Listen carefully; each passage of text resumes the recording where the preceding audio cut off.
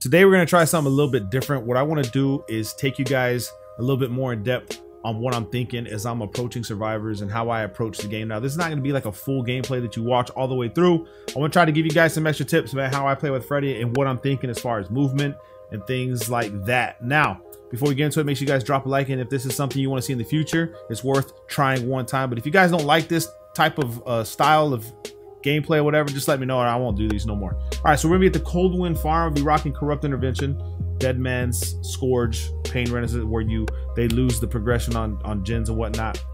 And let's go ahead and get it started. So first thing is as we start this match right here, I'm gonna be looking at my corrupted where it's at, looking for a generator that's far away that's not closed in. So right here, I look left, right. I see the one that's red right here down the end of the map. So I'm going to approach that one looking for survivors along the way because they don't, it doesn't mean that they're going to be there. It's just, that's probably the point of interest right now. So as I come here, I see someone right here. All right, so we're coming into a loop. We already know that this girl, I have the depth on her. Like, I mean, I can close the gap real quick. She knows that. So she's probably gonna pre-drop this pallet. So whenever you're approaching someone like this, don't run toward the pallet. Don't run into the pallet. You're not going to want to do that because you're going to get stunned and they're going to get distance. So right here, we're going to go ahead and probably move away. Okay, now I want you guys to know, why does he spin? People, why does he spin in my gameplay survivors? Because I'm hiding my light and I'm moving it away and I'm gaining ground while moving towards you. Okay, so people moonwalk, they see the, the light go opposite side. Like, so if I moonwalk backwards, my light's that way, they can see that I'm moonwalking. However, if I'm 360, they never know which direction the light's going to be and which way I'm moonwalking. So I spin. I'll spin right, left, and that's what we do here. We we use the spinning tactics back this way, and then she comes across because she is an only better, and we get the hit. So now we have the hit. Okay, so now what I'm thinking here with this chase is she's gonna vault this window.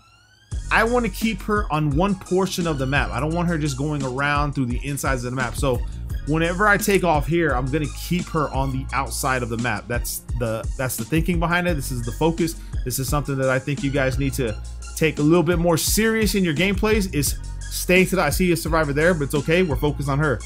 Now we're like I said, we're we're turning into her now because we see that we have her pressed against one part of the map. So we're gonna come to another pallet like I said, she's probably gonna wait at the pallet. So what we want to do is just approach her and then move away, act like we're gonna come around, and then come backwards. Okay, that's what we're gonna do.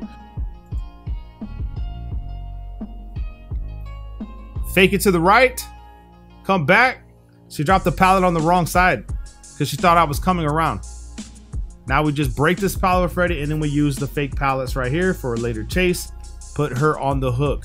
Now, the idea is if you're playing in a tournament setting or high MMR, you have to focus your attention on one survivor if you feel like they're going to do a lot of gens fast. Now, right here, I'm here with Dwight. Now, Dwight's going to vault this window, and I'm going to attempt the melee.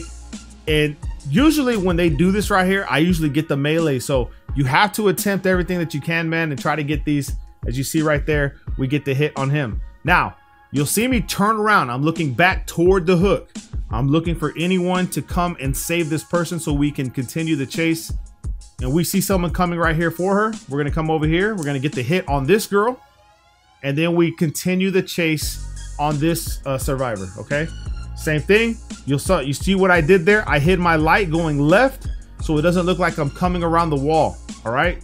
So pay attention to what I'm doing here. Hide the light, come back, look at the wall, and now she's this way.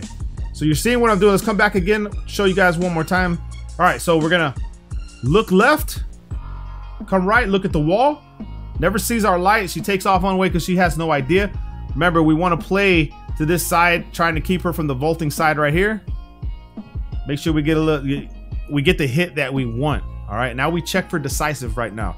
Immediately, once she gets saved from the hook, we drop her, we pick her up, we check for decisive. She doesn't have it, which means I already know how this game's gonna be. The perks are actually working together to get people off generators. You'll see right here, I see someone hurt. Now right here, this girl's gonna try to run away from me. I down her. Now I'm focusing back on the hook. Like I said, you wanna try to maximize your ability. Look, they got him off the hook. Okay, so we're back to focusing Dwight's to try to take the hit. He's to try to go down so I get the hook. I'll go ahead and down him too. But remember, we want to win this game at all costs. That's what we're gonna do. Survivors do not like this way of playing, but it doesn't matter if you're trying to play competitively. All right, so right here, she's gonna pre-drop the pallet. We're gonna break the pallet.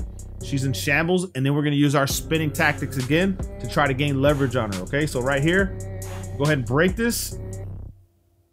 We're gonna spin backwards, come back, spin backwards, come back. And now we can close the gap on her because she's she'll know what to do. She'll know which way we're coming. You know what I mean? And this is how we'll effectively get one survivor out of the game.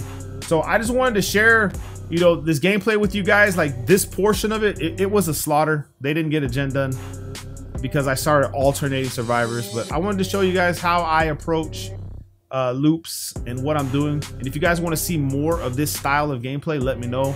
I'll put it out there for you guys. Uh, we may make this to where, if, you know, give it for members only, these kind of tips. So these may be moved to the members section because in for every map, it's a different situation, different techniques that I use to navigate loops. Drop a like. Love you guys, man. Peace.